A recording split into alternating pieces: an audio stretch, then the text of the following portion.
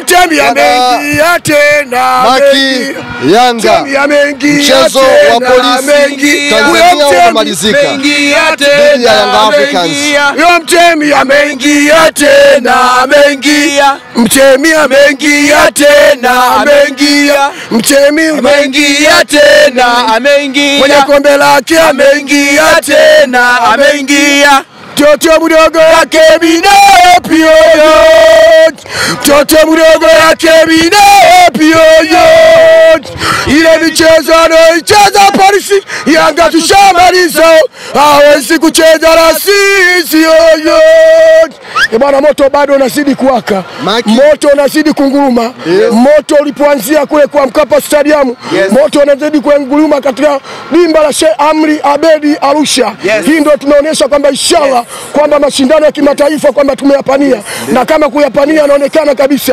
yes. Huu ndio hawamu tunaonyesha yes. kwamba sisi Yanga tumesajili na mzanza tutaki tutaki, tumemkunguta mkubwa, tunakuja na watoto yes. hawa, tunakutana nani watoto wadogo. ndio yes. Maki unasema hizi ni mbio kuelekea mechi za kimataifa moto huu ndo mnaenda nao kuanza nao kimataifa? Nimekwambiaje, moto hauzimiki. Hii ishara inaonyesha mapema. Unajua, unapo unapoonyesha ishara kwamba sehemu fulani pa, pa, pa hatari, lazima uonyeshe ishara, au unapotaka kupita lazima uonyeshe ishara indicator kwamba mimi naingia sehemu fulani. Kwa hiyo inaonyesha indicator moja kwa moja kwenye ligi ya klabu bingwa barani Afrika na hususani kulivaa lile kombe na kulitetea na kulichukua kuja Dar es Salaam Africans pale mitaa ya Jangwani. Ili tuisimishe jambo ambalo tulikuwa tunahitaji kwa misimu takribani kibao. mimi nataka utueleze tumeshuhudia mchezo wote hapa. Yanga wamekosa nafasi nyingi sana. Na hata nafasi walizozipata nyingi zilikuwa zinaamuliwa kwamba uh, si magoli. Tumeshuhudia Makambo amepiga eh, mpira kwenye nyavu lakini likakataliwa. Alikadhalika eh, nafasi zingine za wazi ambazo zimeonekana pengine wewe ulikuwa unazichukuliaje zile nafasi Eh, mi- tulikuona jukwani ukiokea na Ah, mimi- na Mimi nisemee kwamba unajua E, sio wote wanaochezesha ni mpira ni kwamba labda iko simu fulani. Mimi nisemee tu Yanga kama iko safi ni iko safi tu. Mimi niseme kwamba hawa waamuzi, unajua waamuzi wana sehemu zao, huwezi kumlazimisha bwana mwamuzi awepo Yanga, huwezi kumlazimisha mwamuzi awepo Yanga. Mimi niseme tu kwa Yanga hii, kwa Yanga ambayo tulikuwa nayo kwa mwaka- miaka hii ambayo tunaenda nayo hii Yanga, mimi nasemea kwamba yani hapo hapa hapo amchezeshe hapa, yani hapa hata refari hapo hata hata hapo Babla. Refari hata hapo mo. Refari hata hapo Mohamed Ali. Refari hata hapo Singida United. Eh, refari hata hapo kilabu ambao tunacheza nayo Polisi Tanzania. Refari hata yepo kosti, refari hata yepo kutoka IF sisi lazima Yanga tutasilimisha kutokana na uhaba ambao kwa kosti tulichokuwa nacho. Kwa hiyo mimi nisemee tu kwamba Mungu alipangalo Mwenyezi Mungu, hakuna kiumbe aina yote anaweza kuipangua, sababu uwezo wa Yanga umeonekana e, na, tume, na umeona mwenyewe hapa, ndugu, ndugu mwandishi, umeona kuna goli hapa tumezulumiwa hapa, lakini tukasema watu tunamezea kwa sababu kutokana kwamba hiyo ndio mipango yote ya Mwenyezi Mungu.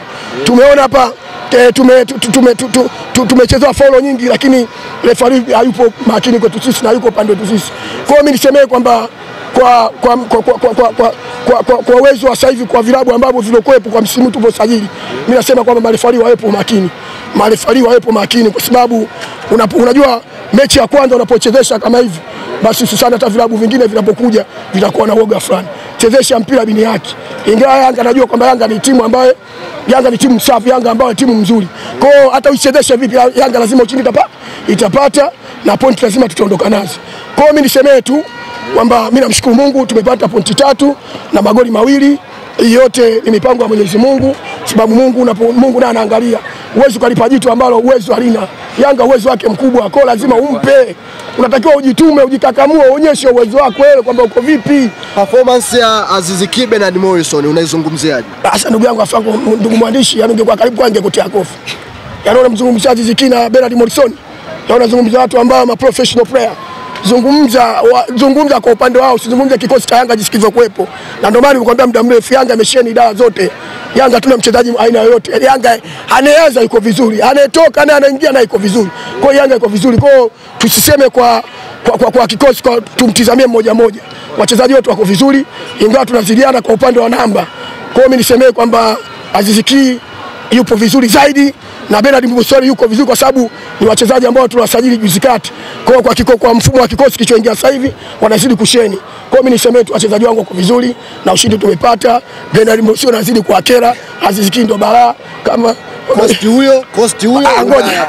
Ah, nani basi? unaya. Nani? Kosti huyo. Leta mzungu nani? Hajaona kwani? Mlete Kosti. Leta mzungu wewe bwana. Leta nani kosti? Eh. Kosti nimempiga nimempiga mara tatu nje ndani. Paka nimechukua hapa Azam Federation anauza Coast Coast. Coast nani? Coast alikuwa mwenyewe pale kashuhudia kaka pale. Anatetemeka kuna mche- kuna mchezaji mmoja kaka akafanya hivyo anatetemeka tetemeka kama hizo vipa.